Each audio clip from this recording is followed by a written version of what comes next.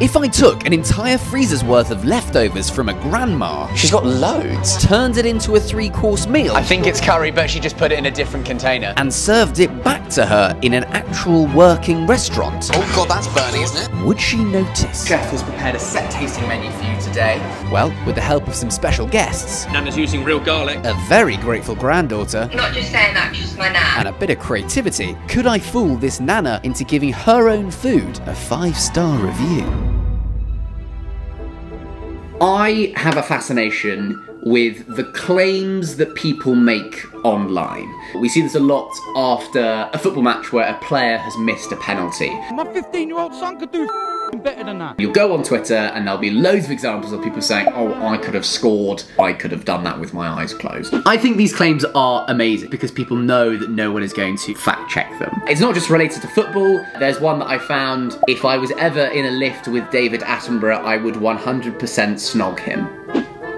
Let's test it! For years I've seen these comments and just enjoyed them from the safety of my sofa, but I saw a comment this week that I actually genuinely think I could test. It was a comment by a woman called Morgan underneath a post about food, and she wrote, Genuinely think my nan makes restaurant quality home cooking. So, I want to see whether her nan makes restaurant quality home cooking. To make this happen, the plan was to create an entirely fake restaurant where this Nana would be taken to eat her own food. But first, I would need Nana's food, so I reached out to Morgan the commenter and we jumped on a call. Hello! I love the green jumper. You're literally a walking green screen at the moment. narcissistic little child. With my banter out the way, Morgan agreed that she would let me raid her Nana's freezer while she was out. You in? I am it. So a few days later, I found myself in Essex with a cooler box. Let's go steal some food from a grandmother's freezer. This would be really sinister if it wasn't for a fun, silly YouTube video. I met Morgan at Nana Aileen's flat to acquire the stock for my soon to open restaurant. Hello! Thanks for letting us raid Nana's freezer. God, Nana lives, lives in a nice place, isn't she? Gerald. Hello, Gerald. Nice to meet you. You've been, you've been made aware of this of this little scheme. Okay. How do you feel? How are you feeling, Gerald? I feel. Okay, good. With Gerald in on the plan, it was time to see what kind of dishes I'd be working with. It's the top two. Top two. Yeah. Whoa. It's, um, She's got loads. Aileen had a fully stocked freezer, but unfortunately, she isn't the best at labelling. We just think this is just mystery meat. But luckily, Morgan had a family trick to work out what it was. smell it. I, that's what I smell. And I ask my partner. That's a curry. Your job here, Morgan, is to just be pass, pass and sniff, pass and sniff, baby.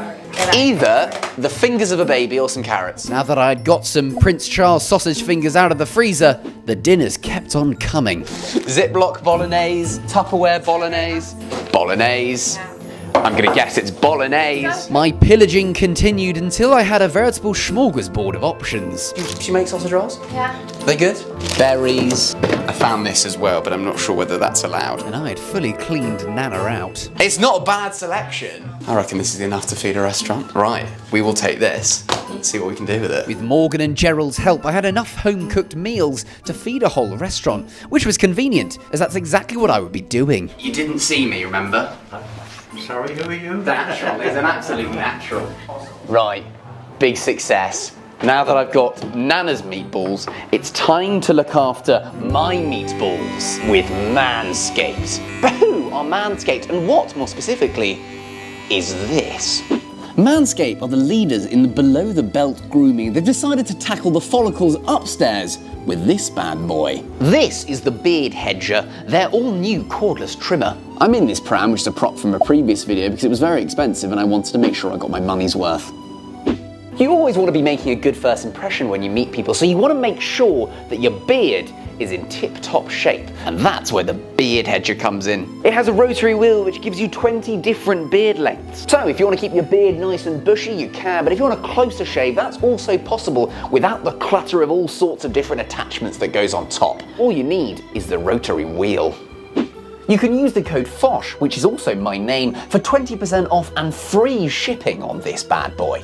So thank you to Manscaped for sponsoring this video. You're not only helping my beard game, but you're also helping me set up a fake restaurant for Nana. And I think it's time to go there now. The following day, I arrived at our restaurant for this little experiment, Jones and Son in Dalston, one of the East End's most popular restaurants and the shooting location for the hit Netflix movie Boiling Point. I'd be running the restaurant for a whole day, serving people only with Nana's cooking, so I could put Morgan's online bragging to the test. She genuinely could have her own restaurant. Yeah. And so to do that, I'd need some help. Service, please. My head chefs in the kitchen would be Ben and Kush from Sorted Food. You guys know what you're doing. I don't. But who's in charge? This guy? That's a bigger cool one. It's full of bolognese, bolognese, and a bit more bolognese. We had less than two hours for Morgan and Nana Aileen who would be arriving, Queen of Tupperware. and our priority was to turn her leftovers into dishes worthy of a Michelin star. I think it's curry, but she just put it in a different container. So I donned my chef's hat and got to work in the kitchen. We'd have to work fast. I'm handling Nana's burrata. Under Kush and Ben's instruction, we slowly turned Nana's frozen meals into art. It smells really nice. Turn the berries that we found in her freezer into coulis. And after a tough two hours, we had our three dishes prepared and ready to replicate. Starter, main, and dessert from Nana's freezer. I think she's going to enjoy that. Of course she is. She cooked it. Yeah, she better. With Nana Aileen's arrival imminent, it was time for final prep. We'd filled the restaurant with friends of the channel and carefully placed some hidden cameras and microphones to capture Nana's reaction. Just checking for smell. And then, right on schedule, it was showtime. Hello there. We've got a booking for 2.30. What is your name? Morgan. Morgan. Hello, madam. How are you? Brought your sister with you. Fantastic. This is my nana. tell you, the, uh, the, the food is absolutely delightful. Suitably charmed, I led Nana to her table. Right here, please. What's your name, madam? Aileen. Aileen. Lovely to meet you, Aileen. I will be your server. Chef has prepared a set tasting menu for you today. Essentially, sit back, relax, and enjoy the flight. Time to serve Nana her restaurant-worthy dish number one. What's the name of the um of the dish again? Tandoor smoked chicken tikka pie, made from Nana's chicken tikka masala and frozen puff pastry. Ding the bell. Away we go. To start with, madam, we have a tandoor smoked chicken tikka pie with yogurt puree, tamarind, and micro herbs. Oh, thank you. Please enjoy.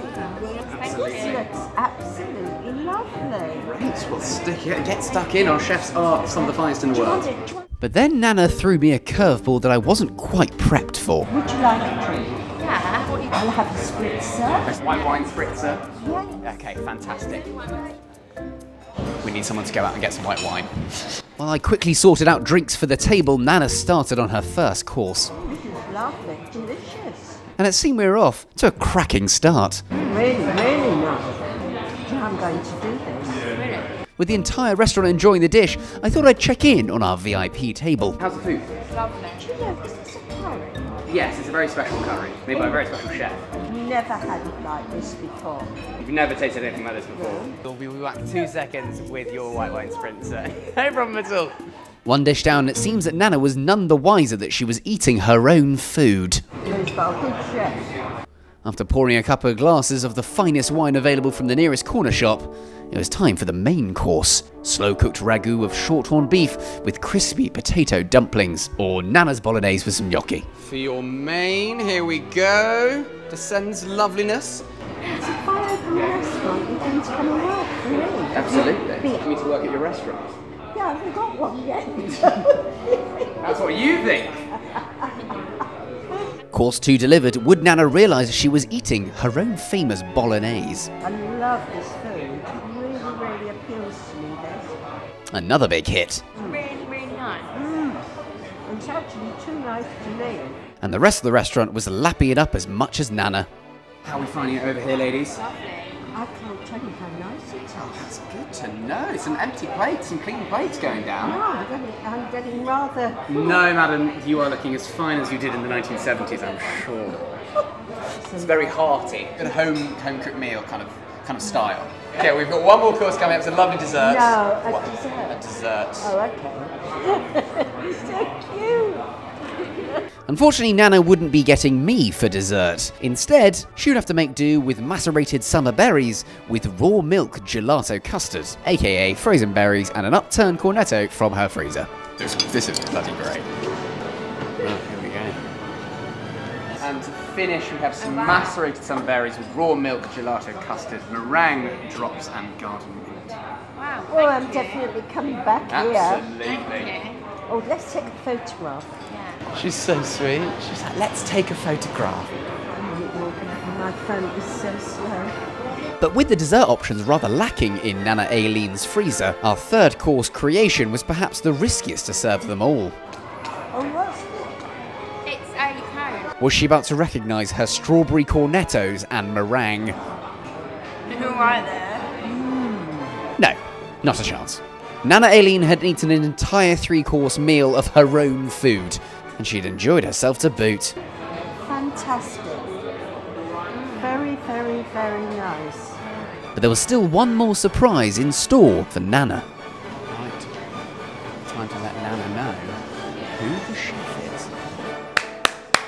Ladies and gentlemen, can I have your attention for two minutes, please? Thank you very much for coming down to the promotional day. Um, of course, it goes without saying, I think we need to uh, give a massive round of applause to our chef. So, everyone, round of applause for the chef.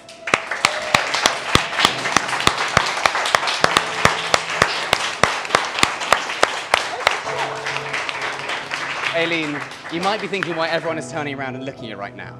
Because the chef for our courses this afternoon was you. Oh. Yesterday afternoon, with the help of Morgan and Gerald, we went into your lovely flat in, in Chigwell and we, we raided your freezer.